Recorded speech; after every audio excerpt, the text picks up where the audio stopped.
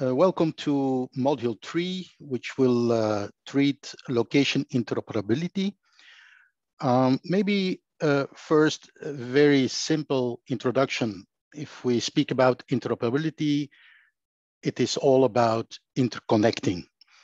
Um, the typical example we can give is from uh, what we uh, all know when we go and travel we need these adapters uh, to connect to any other uh, electricity system.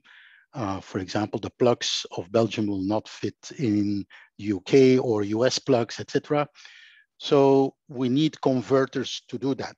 Uh, so uh, our system or our computer uh, should be able to speak to the electricity system in those other countries. you can also symbolically look at interconnection of roads. When you build roads, you need to do it in such a way that where it interconnects, in this case, the bridge, it's not a real case, of course, uh, if you do not manage to interoperate or connect different pieces of the road, for example, cross-border, then you have a disruption and you can't have traffic, um, of course. Uh, what are the learning objectives for this module? So after this course, you will be able, on the one hand, to define and explain what interoperability means, and then also to provide some examples from daily life.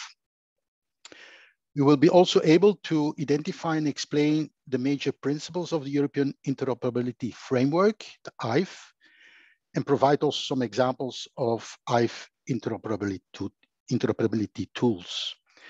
And then the third uh, objective is that you are able to illustrate with some examples the challenges for reaching location interoperability from different perspectives, the legal, organizational, semantic, and technical perspectives.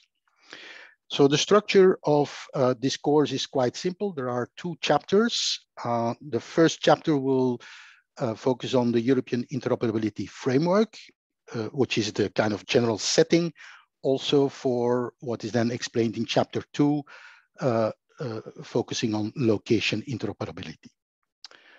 So uh, that will be uh, this module.